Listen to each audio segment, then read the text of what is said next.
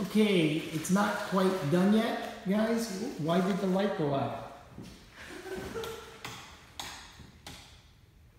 Like, why did the light go out? This is spooky. This is not, not cool. Ray, where are you? okay? There we go. Alright.